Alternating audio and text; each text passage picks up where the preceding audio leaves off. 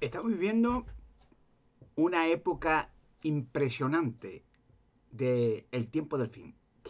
Una época histórica, una época que nunca más se volverá a repetir. Desgraciadamente, en aspecto exterior parece dramática, parece un caos apocalíptico, y en parte hay algo de eso. Pero está la otra cara de la moneda, como quien dice. Está la otra cara de la moneda por el hecho de que lo que está sucediendo son hechos apocalípticos de verdad, porque el Apocalipsis habla de estas guerras, del tiempo de Jesucristo dijo que en el tiempo del fin, antes de la liberación de la raza humana, habría guerras y rumores de guerras.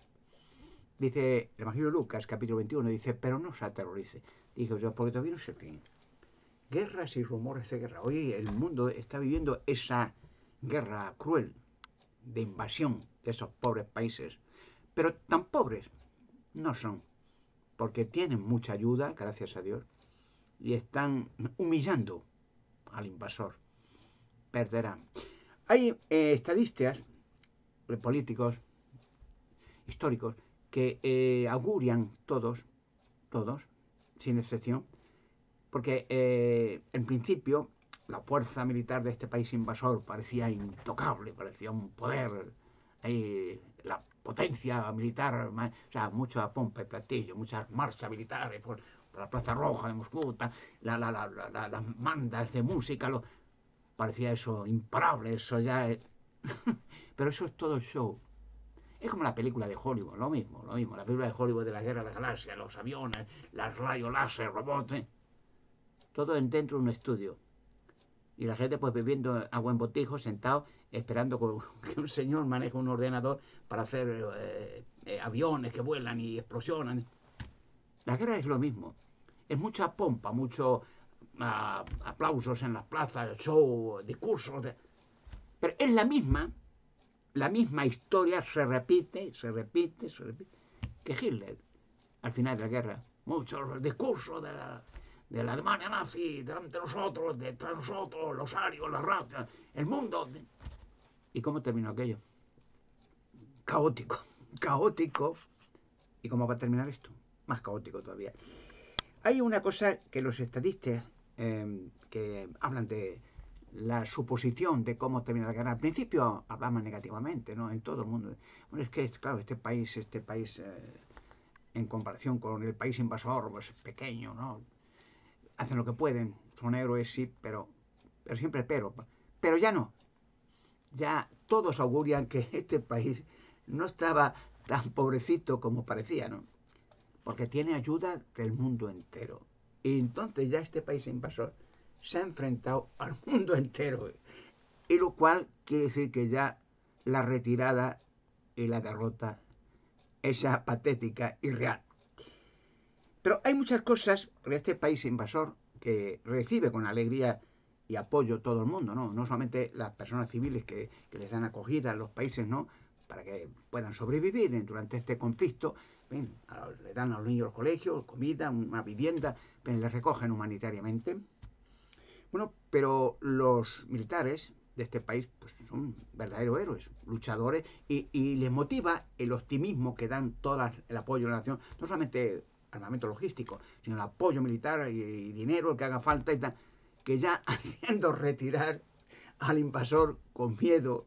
Porque decir una cosa, voy a decir una cosa al principio. Quiero decir que eh, hay cosas que la gente no cuenta. Hacen lo que pueden, o sea, las estadísticas, eh, las estadísticas del mundo, pues cuentan con lo que tocan, con lo que ven. Pero lo que no ven no pueden contarlo, ¿no? Bien, voy a contar algo interesante. Miren, para que tenga una idea. Cuando un país, eso, eh, en cosas reales que se pueden palpar, tocar, cuando un país invasor, injustamente, ¿no? Empieza ese país las manifestaciones en contra de esa decisión. Cuando ese país miles y miles huyen del país, no quieren saber nada con guerra. Cuando ese país a la fuerza alista a hombres ancianos, jóvenes inexpertos en la, guerra, cuando ese país obliga a la fuerza bruta a alistarse, cuando ese país los eh, de los de la pasta, huyen del país y se van corriendo. Cuando ese país le aísla todo el mundo democrático y humanitario, ese país cuando ese país ya busca hacer un show para, decir mentiras y, estupideces y, amenaza y encarcela al que no quiere ir a la guerra, ese país ha perdido la guerra. Pero esta es la misma táctica, la misma idéntica, es una copia. ¿Qué hizo Hitler? Cuando es la misma, se repite, se repite. Cuando Hitler, el tercer Reich, cuando ya entró el canciller Adolf Hitler y ya a la, fuerza, la misma operación, lo mismo, lo mismo, se repite. Entraba en Polonia a fuerza y matando gente y la guerra y, opresión, y luego en Francia y luego intentando a Rusia y luego tal, y yo, el tercer Reich, las paradas militares y las marchas, música. Y... Sí, pero al final se iba retirando. ¿Por qué? Porque los países democráticos apoyaban al débil a los países que injustamente, sea Holanda, sea quien sea, Francia, Polonia, habían sido invadidos, incluso Rusia. ¿Y qué hizo? ¿Qué hizo? La, se repite, que todos los militares y la gente se iba huyendo de Alemania hacia Sudamérica, que por cierto, Hitler, Eva Braun, Martin Bormann, Joseph Mengele, Adolf y todos huyeron. Nada de que se suicidó, eso es historia, eso no, no hay ningún relato, ninguna eh, prueba de nada que se suicidara. Se huyó como todos los dictadores, como huyó Saddam Hussein, que la misma, lo mismo, lo mismo, las marchas militares en Irak, y, y, y cómo me he escondido, Saddam Hussein en un, eh, en un cuartillo debajo de tierra, en un, en un, en un hoyo, en, un, en un cuarto trastero debajo de tierra, huyendo, muerto de hambre, tuvieron que sacar y darle de comer y luego le colgaron, Se repite la historia y va a pasar ahora idéntico. Pero hay algo más que la gente no cuenta los estadistas que sí hablan lo que ven y hablan bien, hablan con lógica. Al principio dudaban, pero ya dicen, no, la duda ya no hay duda. Este país invadido está arrasando y está, está liberando a su, a su nación y está arrasando y ya vienen, vienen las amenazas de siempre. La, no, que ahora la destrucción. Lo mismo que San José, lo mismo que Hitler. Por cierto, Hitler tenía la bomba atómica, pero no funcionó. Sí, Saddam Hussein, no, es que a destrucción masiva tengo el momento y, y, nada. Y, no tenía nada. Khrushchev tenía bomba atómica y no tenía nada. Khrushchev eran de cartón. ¿eh? Y está hace lo mismo, se repite. La historia. Hay el dicho aquel de que el que olvida la historia está condenado a repetirla y la está repitiendo y va a terminar igual que los demás, huyendo, huyendo, con, el capital que ha robado, huyendo, escondido y le tendrán que buscar, le procesarán como quien a la guerra y acabará. Así acabará y lo sabe. Lo verdad que, que ya dice, ya he perdido el río, ya venga. Se están engañando, es como la gente que ya ha perdido todo y se está engañando a sí mismo con, con, al borde de... Pero sus aliados huyen todos. No, no, no, no. No, se, no se queman las manos. Dicen, no, cuidado, eh. Y hace, es la verdad. Pero hay algo más. Hay algo más. Quiere decir que la gente, eh, ya te digo, los políticos, estadísticas, historiadores, ven la realidad y dicen, no, no, esto, esto, dos y dos son cuatro. Este país ha perdido la guerra ya desde el principio. Por ejemplo, algo que no cuenta la gente, pero hay que contarlo, hombre. Pero no lo cuentan porque no caen en eso. Aunque los líderes políticos de, de, de, la Iglesia Ortodoxa o del Vaticano, no, no, una vez apoyan a uno y luego a otro y luego otro, y Dios lo quiere, Dios con nosotros, y, Dios está con este, y, es un ángel de y, y que al final todos dirán lo mismo. Al final de la guerra dirán, Gracias a Dios que hemos orado a Dios para que haya paz. No, lo mismo que han hecho siempre. Pero hay algo más que no cuenta la gente. ¿Qué dice Dios de la guerra actual? El único Dios verdadero, Jehová Dios, el Dios de la Biblia. ¿Qué dice? Está mirando como un espectáculo. Ah, mira qué cosas. Y Jesucristo, el Rey de Reyes, el que está gobernando con toda autoridad en los cielos, sobre el universo y sobre la tierra, está mirando, no dice nada, los ángeles. Mira qué cosa, los hombres que son. Y bien, ¿y qué dice la cultura superinteligente que hay y habita en el centro de la Tierra? El almirante del Birbir estuvo allí, habló con ellos en 1147, que luego el presidente Truman, el norteamericano, dijo que no dijera nada de eso. porque no tenía que decir nada de eso? Que había visto ciudades maravillosas y un paraíso en el centro de la Tierra. Y habló con gente, perfecta, equipada y, amable en el centro de la Tierra. Nadie piensa qué pasa. El centro de la Tierra está, por cierto, el centro de la Tierra advirtió que, que ya tenía un peligro en la humanidad porque la imperfección y la locura humana podía destruir no solamente vidas humanas, la faz de la Tierra, y que tendrían que intervenir. Eso está escrito. El eminente Herbert ante, que era un, un almirante norteamericano, que era para vigilar las temperaturas del polo norte y polo sur, habló, le llevaron al centro de la Tierra. No los humanos, sino la, cultura perfecta del centro de la Tierra. ¿Qué dicen los centros de la Tierra? No dicen nada. Está mirando, va. No se dan cuenta. ¿Qué dicen los que los múltiples ovnis que se ven todos los días, cada vez más? Están mirando como un teatro. No dicen nada. Y los viajeros del tiempo, que han estado entre nosotros y están entre nosotros, montones de ellos, que tienen un poder, vamos, sobrenatural. Tampoco dicen nada. Jehová Dios no dice nada.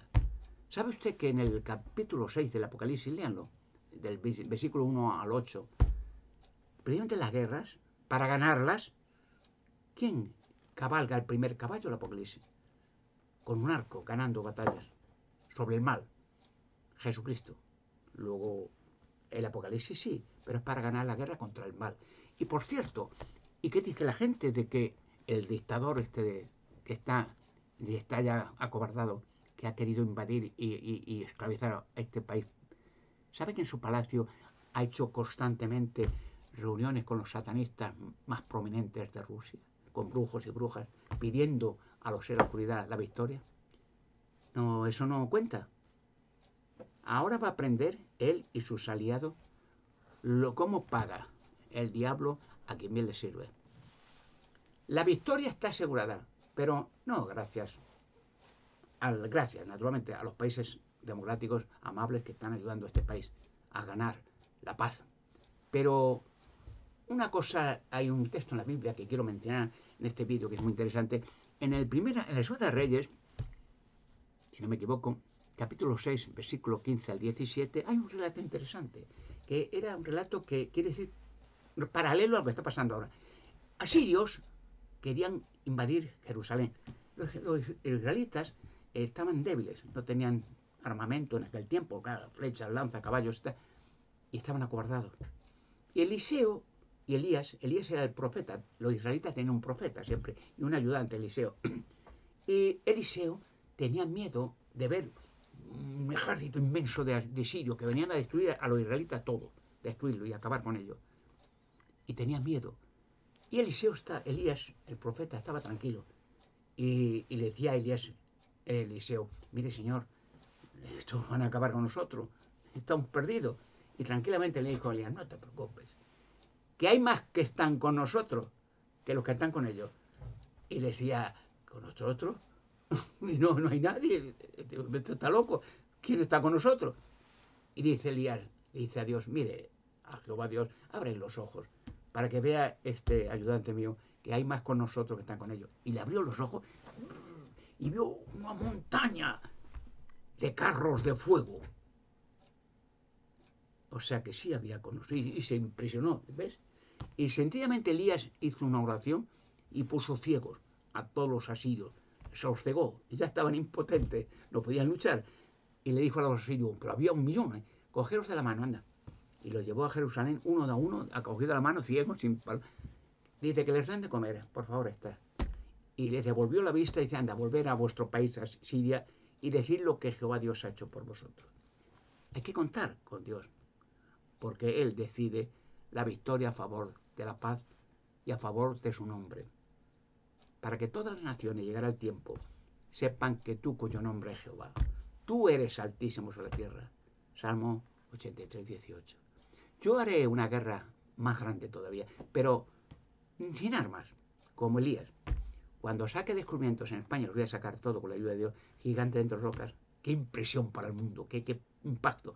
Dinosaurios en túneles, qué impacto para UNESCO y para todo el mundo. La evolución desaparecerá, el UNESCO desaparecerá, el Vaticano y las religiones desaparecerán. Los malvados que han hecho tanto daño a la gente y tanto a los niños y han, y mentido y han explotado y han promovido guerras, las siguen promoviendo. Haré una justicia, una victoria con la ayuda de Dios como jamás hubiera pensado el mundo. Porque yo también los puedo ver, que hay más con nosotros, con la verdad, con la justicia, que los que están con ellos.